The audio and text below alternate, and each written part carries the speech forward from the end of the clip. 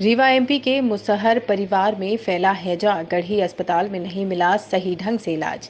इलाज के लिए किया गया रेफर तो हैजा के डर के कारण रास्ते में छोड़कर भागे 108 एंबुलेंस। एक महिला की हुई मौत, जबकि दो की हालत है गंभीर।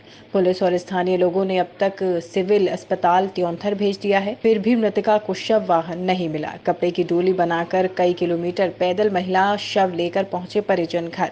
घटना के बाद से ही अव्यवस्थाओं को छुपाने को लेकर BMO doctor K B Patel ने भी मोबाइल नंबर बंद कर दिए हैं। त्योंथर तहसील के गढ़ी के पास दत्तूपुर गाँव की घटना।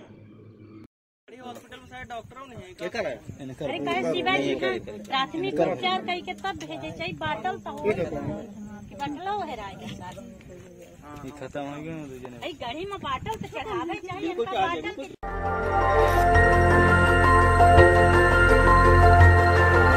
देखते रहिए डीबी भारती समाचार नज़र हर खबर पर।